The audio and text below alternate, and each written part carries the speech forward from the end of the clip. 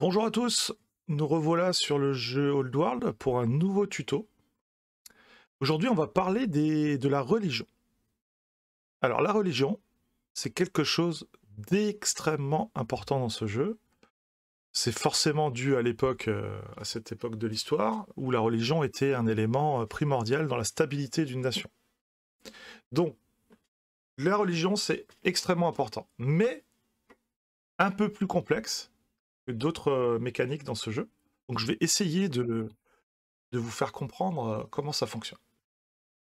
Donc les religions, vous, allez, vous, y avez accès avec l'onglet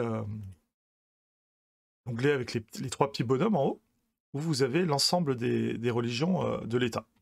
Alors j'ai recréé une partie depuis le départ, donc euh, volontairement pour, euh, pour, faire, pour faire cette démo. Alors vous avez quatre religions d'État. Donc ces religions d'État sont les quatre religions mondiales. Ce sont les religions les plus puissantes du jeu, mais qui nécessitent certaines conditions pour, pour, les, pour les débloquer. Alors il faut savoir, première religion, le zoroastrisme, vous allez pouvoir le débloquer de deux façons différentes. D'ailleurs, c'est valable pour, le judaïsme aussi. Le judaïsme et le zoroastrisme peuvent se débloquer grâce à euh, une famille ecclésiastique. Donc, chaque nation n'a pas de famille ecclésiastique. Ici, j'ai la chance avec la Syrie, parce que je joue la Syrie, d'avoir une famille ecclésiastique. Donc, ça signifie que dès que vous installez une famille ecclésiastique, le bonus de siège c'est obtenir une religion, fonder une religion. Donc c'est le moyen le plus rapide de fonder une religion. Et lorsque vous fondez cette, euh, première famille ecclésiastique, vous allez débloquer soit le judaïsme, soit le zoroastrisme. Donc en gros, là on voit cité sacrée Assur, Assur c'est cette ville-là, c'est la ville des ecclésiastiques. Donc cette religion-là a été débloquée dès le début de la partie, parce qu'on voit que je suis tour 17, dès le début de la partie, grâce à cette famille. Donc la méthode la plus rapide, si vous voulez vraiment commencer à apprendre la, religion, c'est de partir sur une nation avec une famille ecclésiastique. Deuxième méthode. Cette fois, pour débloquer le zoroastrisme, il faut que vous fassiez deux acolytes. Donc les acolytes, il faut avoir divination. Les acolytes, ce sont les spécialistes que vous allez pouvoir placer dans les sanctuaires. Donc déjà, pour faire deux acolytes, il faut faire divination, et du coup, pouvoir construire deux sanctuaires pour placer ces spécialistes à l'intérieur des sanctuaires. Une fois que vous allez avoir deux spécialistes acolytes, vous allez débloquer le zoroastrisme, à condition que aucune nation ne l'ait débloqué avant. Parce que si notre nation débloque le zoroastrisme avant, la cité sacrée sera ailleurs. Et donc, vous ne pourrez pas fonder la religion à l'intérieur de votre nation. Donc le zoroastrisme, c'est deux acolytes. Le judaïsme, d'ailleurs on le voit parce qu'ici euh, elle n'est toujours pas créée, euh, ça exige la tech main-d'œuvre et deux éleveurs. Donc si vous avez possibilité de mettre deux spécialistes éleveurs sur votre land facilement, et que vous avez la tech main-d'œuvre, il y a possibilité de créer la, religion judaïsme. Donc ces deux religions-là sont des religions accessibles au début de partie. Et il faut savoir que ce sont des religions, on va appeler de tiers 1, c'est-à-dire c'est le premier niveau de religion. Les deux autres sont des religions de tiers 2, d'ailleurs on va le voir sur l'écran. Christianisme, vous pouvez débloquer le christianisme à une seule condition, c'est déjà que vous ayez 12 citoyens, au moins une cité juive, au moins deux cités juives au total, excusez-moi, et métaphysique. Donc, en gros, métaphysique, toujours pareil, ce sont des techs qui sont en bas, dans l'arbre du bas, qui correspondent à la religion. Donc si vous n'avez pas métaphysique, si vous n'avez pas tous ces critères-là, vous ne pourrez pas fonder le christianisme. Bien entendu, les religions de tiers 2 sont plus puissantes que les religions de tiers 1. Et on va voir que c'est assez secondaire. Ce qui est très important, c'est de maîtriser déjà les deux premières religions. Ensuite, on a le manichéisme, qui, est simplement une, évolution euh, du zoroastrisme. Donc si vous voulez, le, le christianisme est une évolution du judaïsme et le manichéisme est une évolution du zoroastrisme. Pour les spécialistes de l'histoire, c'est parfaitement logique. Donc là, on exige deux cités zoroastriennes et deux cités chrétiennes. D'accord? Au total, pour avoir le manichéisme. Et ça exige également le monachisme. Le monachisme, je répète, qui est la tech de l'arbre du bas, c'est tout ce qui concerne la religion généralement. Donc l'arbre du bas, vous avez le, monachisme qui est là. Donc ces religions de tiers 2 sont débloquées grâce à une évolution, un développement déjà des religions de tiers 1. Donc ça, c'est la première chose. Donc la deuxième chose, à quoi sert la religion? Donc la religion sert à euh, stabiliser, stabiliser un pays, dans le sens où vous allez voir plus tard qu'il y a énormément de théologie et de, on va dire, d'upgrade qui permet de stabiliser le mécontentement, de gagner en science, de gagner en culture. Ce sont des, des unités et des bâtiments extrêmement puissants. Donc, premier bâtiment que vous pouvez euh, construire avec le, zoroastrisme, une fois que vous l'avez fondé, euh, c'est le monastère. Donc, pour construire un monastère, on va le voir ici, il faut un disciple. Les disciples, c'est très simple. Vous pouvez les générer avec de la croissance, donc ça, ça sort comme un, comme un colon, comme un ouvrier, un éclaireur ou une milice. Plus vous avez de croissance, plus vous allez pouvoir sortir des, des disciples facilement. Alors ces disciples, ce sont une sorte d'ouvriers, euh, de propagateurs de religion, qui vont vous permettre de construire les bâtiments religieux et aussi de propager la religion dans les, dans les villes voisines. Parce que si on regarde bien, le siège de ma religion euh, zoroastrienne, c'est la ville d'Assur. Dans la ville d'à côté, euh, on n'est pas forcé d'avoir le zoroastrisme qui est développé. Alors, est-ce qu'ici c'est le cas? Ici, c'est toujours pas le cas. Donc, si vous voulez, cette euh, chaque cité zoroastrienne plus, euh, je pense que attendez répandre. Ah si, cette, cité est zoroastrienne, donc j'ai pas besoin de, répandre la religion. Donc il faut savoir que cette, euh, ce disciple, il va vous servir à construire. Regardez là, là on vous le propose à construire les bâtiments religieux. Donc cette ville-là ne possède pas encore de monastère. Donc grâce à cette unité disciple, je vais pouvoir construire ce monastère. Voilà. Donc ça mettra six années. Donc il ne faut pas croire pouvoir construire les monastères avec les ouvriers. C'est pas possible. Il faut générer un disciple, et pour générer un disciple, il faut déjà avoir une première ville avec la religion. Si vous n'avez pas de première ville avec la religion, vous ne pourrez pas faire de disciple. Alors vous allez me dire, si jamais je ne peux pas faire de zoroastrisme et de judaïsme, et que j'aimerais faire l'une des deux, comment pouvoir avoir la possibilité de faire des disciples et du coup propager votre religion? Il faut savoir que la religion se propage de façon passive. C'est-à-dire que si vous avez une, un, peuple voisin avec euh, la religion zoroastrisme qui est assez proche de vous, vous avez un certain pourcentage de chances que vos villes les plus proches soient influencées par cette religion-là et que cette religion apparaisse à un moment donné dans votre ville ce qui vous permettra ensuite de, comment dire, euh, de construire des disciples. Donc ici, on va construire le monastère, et avec l'autre, on va s'intéresser à la raison pourquoi promulguer une religion d'État. Alors cette religion d'État, elle n'est pas promulguée d'office. C'est pas parce que vous avez créé le zoroastrisme que vous avez instauré le zoroastrisme comme religion d'État. Vous pouvez avoir très bien plusieurs courants religieux dans votre État et ne pas euh, promulguer une religion officielle d'État. Nous, on va le faire. Je vais vous montrer comment faire. On a un chef zoroastrien ici, une ville cité sacrée, où le zoroastrisme a été fondé. En haut à droite, vous avez donc dans l'onglet religion, vous allez adopter une religion d'État. Si vous cliquez dessus, vous pouvez adopter la religion d'État. Le, le, zoroastrisme. Donc qui coûte 400 civiques, hein. donc il va falloir, euh, il va falloir euh, quand même économiser des civiques. Et là, on voit le bonus. Dès, la, dès le début, le bonus, c'est adopter la religion, moins 400 civiques, mais moins 1 de mécontentement par année, par cité zoroastrienne. Donc on voit que déjà, dès, euh, dès le premier, euh, la promulgation de la religion d'État, on arrive à stabiliser le mécontentement, rien que qu'en l'adoptant. Donc on va l'adopter.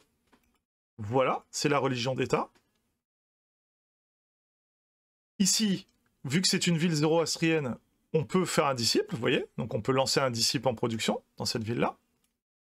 Et euh, vous allez me dire, bah, quel est l'intérêt, mis à part le mécontentement, de promulguer euh, la religion d'État?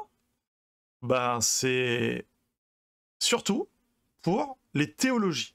Donc, votre disciple, lui, va avoir plusieurs capacités. On a vu qu'il a la capacité de, construire des monastères, mais on a vu aussi, là on va le voir, qu'ici, il peut établir ce qu'on appelle des théologies. Des théologies, ce, sont des, on va dire des techs, des techs religieuses. Même si c'est un abus de langage, ça permet de, débloquer des bonus extrêmement intéressants. Donc les théologies sont de différents types. Euh, vous aurez toutes les théologies en description dans, mon drive. Euh, je, vais, mettre le fichier en question, vous, pourrez le télécharger. Mais elles sont apparentes ici. Par exemple, la, mythologie ici, euh, si vous débloquez cette théologie-là, va vous apporter 5% de chance de répandre la religion par année. Donc en gros, votre religion d'État va rayonner beaucoup plus. Chaque cité va générer deux cultures en plus. Chaque monastère 4, donc vous voyez que là, vous êtes déjà à plus 6. Et si vous obtenez, euh, si vous obtenez la loi polythéiste, vous avez encore plus 20 euh, d'opinion. Donc, ces, théologies sont extrêmement importantes dans le jeu et ont un impact sur l'ensemble de l'Empire. Parce qu'il s'agit d'une religion d'État. Donc, vous avez des, théologies de tiers 1, de tiers 2, de tiers 3. Donc là, on n'a que les tiers 1, hein. on a le choix entre 3. Ensuite, on a le niveau 2, niveau 3. Donc vous regarderez dans, les, documents, mais ce sont des, bonus qui sont extrêmement importants. Euh, c'est grâce à ça que vous allez avoir un mécontentement qui va même être positif sur, le milieu de partie, qui vont vous permettre d'éviter toutes les pénalités liées au mécontentement de vos peuples. Ça va rendre vos familles heureuses, étant donné que, en termes de cohésion, tout le monde a la même religion. Donc, vous allez avoir des malus qui vont être moins importants, etc. etc. Les bâtiments que vous pouvez faire avec les, disciples, euh, vous, en avez de plusieurs types. Le monastère, c'est le premier. Le monastère, c'est le premier bâtiment euh, faisable grâce à votre disciple. Après, vous avez le temple. Le temple, il va falloir une tech un peu plus évoluée. Le temps qu'on est sur doctrine ici, donc euh, le, temple, le, temple, permet encore de débloquer des, unités, euh, des spécialistes différents. Donc le monastère, ça va être des moines. Le temple, ça va être le nom des prêtres. Donc le, le, temple, ça va être des prêtres. Donc ce sont deux spécialistes différents qui apportent énormément de bonus. On va, le voir tout de suite dans, dans le tableau. Donc au fur et à mesure de votre avancée et des techs, vous allez pouvoir débloquer des bâtiments religieux de plus en plus importants. Il faudra toujours penser à euh, construire votre bâtiment religieux euh, dès qu'il est disponible. Parce qu'après le temple, il y a tout ce qui est bâtiment religieux plus, euh, plus important, du type, alors il faut que je retrouve la tech, mais du type cathédrale. Vous avez même une merveille, ce qu'on appelle le lieu de culte de la religion. Il faut, que, faut que je trouve ça, mais euh, le lieu de culte de la religion qui vous permet d'avoir deux points de victoire. Donc le lieu de culte de la religion, c'est deux points de victoire. Ça joue le rôle de mini-merveille. Donc, en gros, la religion vous apporte des théologies qui permettent de débloquer des, capacités très importantes, des bâtiments qui ont des statistiques vraiment très intéressantes, et des spécialistes, et là on va le voir, on va le voir tout de suite, là, les spécialistes religieux qui ont des stats qui sont bien au-dessus de tous les autres spécialistes que vous pouvez avoir dans votre land. Donc on va, on va afficher maintenant le, le, euh, le PDF euh, pour vous montrer. Donc voilà. Donc qu'est-ce qu'on peut voir dans ce tableau-là? Donc il est téléchargeable en description ce tableau. Qu'est-ce qu'on peut voir On peut voir euh, que tous les spécialistes ne donnent pas les mêmes statistiques. Donc je vous rappelle, les spécialistes, j'ai fait une vidéo là-dessus, ce sont les, unités, les, citoyens que vous allez spécialiser dans certains, euh, aménagements qui donnent des, statistiques supplémentaires.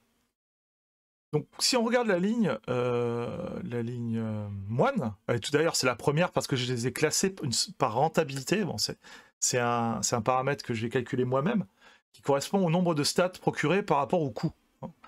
Donc regardez bien les stats du moine. Donc le moine, qui est un spécialiste du monastère, hein, premier bâtiment religieux, on a 4 de culture par moine, 2 de science. Regardez bien les spécialistes qui suivent. On voit que, enfin, économiquement parlant, euh, la rentabilité, elle est énorme. Le prêtre, le prêtre, vous l'avez ici. Le prêtre, on est sur... Attendez, on est sur deux de science également. Mais le prêtre va réduire le mécontentement. Vous voyez? Donc le prêtre va être très important sur la, régulation du mécontentement. Et bien sûr, vous avez moine apprenti, vous avez le moine, le maître moine, ici, vous avez cette ligne-là. Là, on a 6 de culture, le, le maître moine. 6 de culture, 3 de science. Et vous avez le moine aîné, le moine aîné qui vous donne 8 de culture. Alors, bon, là, c'est assez simple à comprendre. Hein. Si vous voulez monter vos villes culturellement, il faut absolument débloquer la religion. Ça vous permettra aussi de contenir le mécontentement, d'éviter les rébellions, et ce genre de choses. Donc la religion, chose essentielle à maîtriser dans le jeu. Votre niveau de jeu sera décuplé euh, si vous maîtrisez ce point précis. Donc les théologies, pour les débloquer, donc ça ce sont c'est le tableau des spécialistes, on va revenir au, jeu.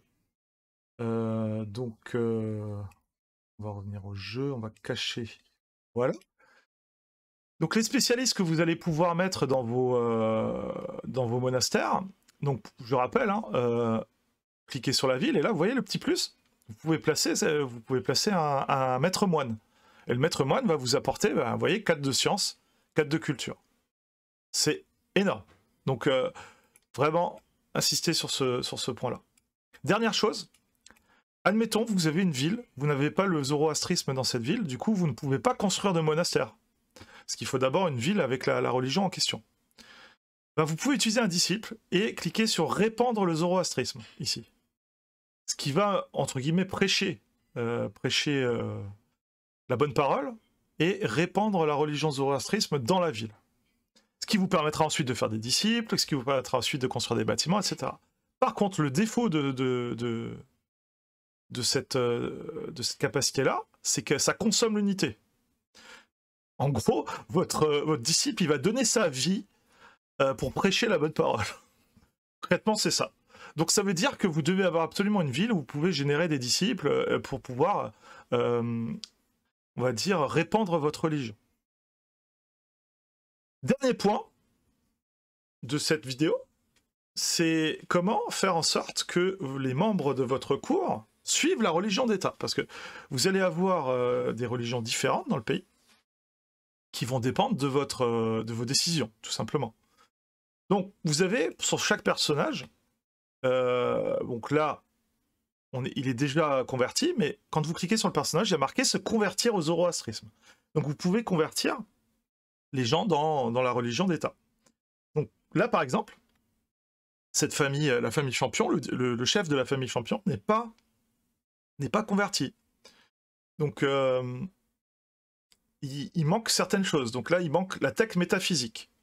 Donc pour convertir, il vous faut la, tech métaphysique est ici. D'accord?